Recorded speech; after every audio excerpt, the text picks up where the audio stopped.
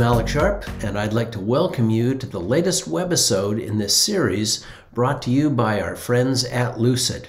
In my consulting and coaching practice, I see people having more trouble with swim lane diagrams than they really should. We started addressing that in the last webisode, and we're going to carry on in this one looking at how to stay out of excessive detail. Specific techniques.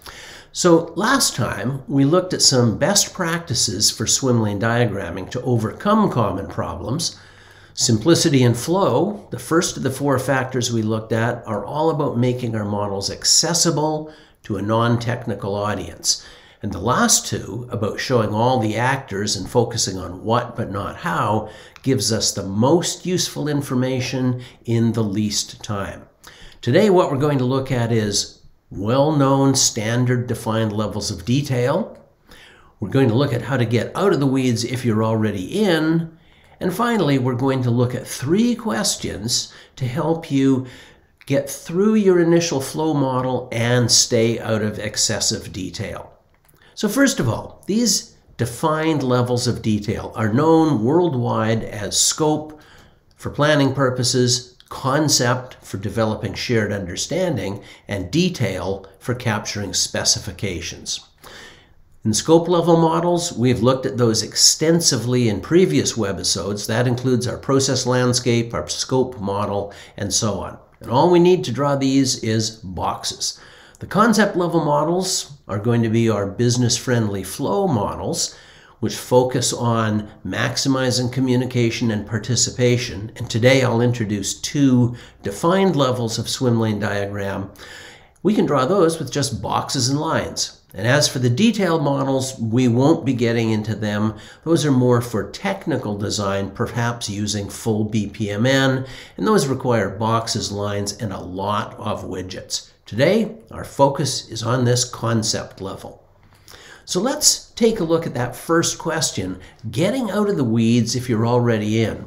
And this is a real life example, a banking client, a central bank in Europe, that was struggling with process redesign because they were in a lot of detail. They had 17 excellent flow models for variations of the same process, but that's just too much detail to understand what's really going on and segue into redesign. And as usual, Step number one was to draw a process scope model.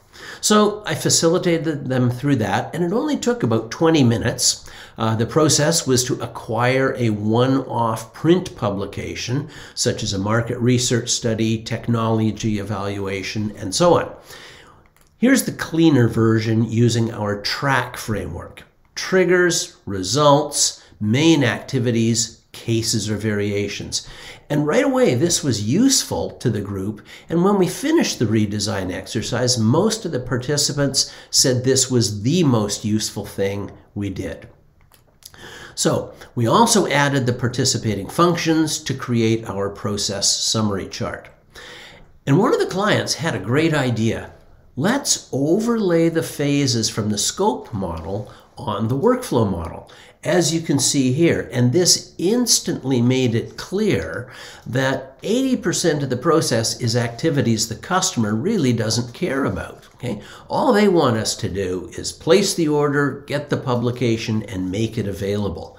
There's far too much time and effort spent on validation, commensurate with the value of most publications, and it turned out there's no need to generate the metadata, the indexing and tagging, before making the publication available. So during redesign, we greatly reduced the amount of time and effort on validation, unless it was extremely high value, and we also resequenced the process to make the publication available before worrying about the metadata. So that helped them get out of the weeds. They would have had an easier time if they had done a scope model before swim lane diagramming, which I've advised before. So let's move into the heart of the matter, the three questions to help build your initial flow model. And the goal here is simply to identify who is involved in the process, the actors, and at what points are they involved. The details about what they do are going to come later. And the three simple questions begin with who gets the work next? as you can see here. Who gets it next? Who gets it next? And so on. That forces you to keep looking at the flow of the process. Second, how does it get there? And third, who really gets the work next? Both of which typically uncover additional actors. So let's take a look. After the first pass through these three questions, you're going to have something like this. Either uh, virtual post-its on Lucidchart or LucidSpark, or something you've done with physical post-its in person. No step names, no flow lines, just the pattern of involvements. So that first question, in this example we're looking at for a mid-sized city in the American Midwest, they had a lot of troubles with how long it was taking to issue a, a building permit.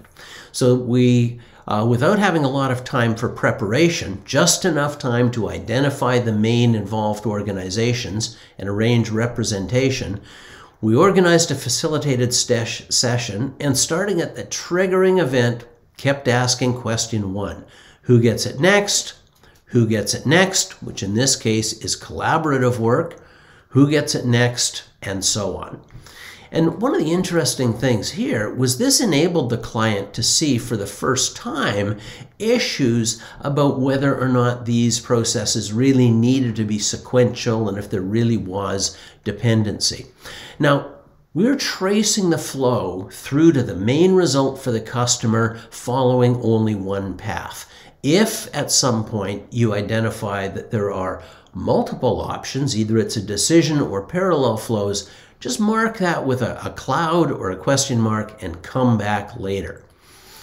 Do not stop and ask, What do you do? or you'll get dragged into the details. And as I said, we can now see that this is a purely sequential process and we can ask questions about dependency between steps.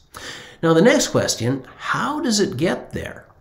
Every time we have uh, a, a, movement, a flow between steps, especially at a handoff, we ask, how does it get there? And it turned out this one here, it doesn't go directly from the permit control clerk to zoning. It has to be picked up by admin services from the permit control clerk's outbox, taken to the mailroom for sorting, and then ultimately delivered. So this step, how does it get there, almost always uncovers additional actors and therefore handoffs, which are a source of issues very frequently. So here, how does it get there? As I said, that uncovers more actors. How do we get to zoning? Well, first, admin services picks up the application package, the mailroom sorts it, admin delivers it, and then zoning has to get it back to the permit control clerk. Same cycle. They have to get it to fire safety. Same cycle again. Now, we're going to go back and look at those handoffs again, looking for missing actors, asking question three, which is who really gets the work next? For instance, who really gets it in zoning? And the answer was it goes to somebody called the Zoning Compliance Officer, the ZCO. But does it really go to them? Well, the answer, of course, is no, because otherwise I wouldn't have a story to tell. It turned out that within zoning, there were three distinct actors, and you want to uncover every actor. And we've used the BPMN pool to illustrate actors within a department. So, admin assistant logs it, Manager reviews it, the compliance officer assesses it, and then it moves on. Going back through our delivery cycle to the permit control clerk, and eventually into fire safety, where we found four additional actors, and the same thing happened in all of these other major departments. But remember, if you stick to these three questions and stop yourself from asking, What do you do? you can get through this very quickly. Trace the overall initial flow. And what we've done is we've started the first level of detail in swim lane diagrams, which I call a handoff diagram. In a handoff diagram, whenever an actor holds the work, whether they do a little or whether they do a lot, we are going to post one box, one sticky, one dot, and move on because our emphasis here is on who is involved when. This is a very powerful diagram because it shows the overall pattern of the process. Often tells me more about what's right or wrong with the process than a more detailed diagram. Now, I'm going to move on to the second level. I'm going to develop what we call a service diagram. First, though, I'm going to name the steps in the handoff diagram, draw the flow lines, check for alternate and parallel flows, look for points where systems or other processes are involved, and then apply the idea of the service diagram, which is at each point where an actor is involved in the process, I want to ask what significant services are they providing to the process? Being very careful to stick with verbs and nouns, not mentioning anything about procedural level instructions. So we can see that the uh, compliance officer at the service level, you're going to see four steps in a row, each of them accomplishing a specific event. Some actors like the admin assistant who logs the application will probably still be one step or maybe two steps at this service level. So now this puts the emphasis on what without getting into the procedural details about how. Okay, and by the way, the model has grown left to right but we haven't added additional actors. They should all have been identified at the handoff level. Of course, this is iterative. If we do discover another actor, we'll go back and update the handoff level. So I've been stressing uh, in here all along our webisodes, these swim lane diagrams are really effective for describing what happens, not so good for how. So one clue that you may have gone too far is a whole set of steps in sequence by the same actor, especially if those steps include how-to instructions. We'll capture procedural level detail in a linked document. And with that, I hope you all enjoyed that and learned something from it, and I hope you'll join us on the next webisode where we look at why we've been doing this modeling. It's leading up to assessment by enabler, a really important part of our methodology for process change. Thanks for joining us, and we'll see you next time.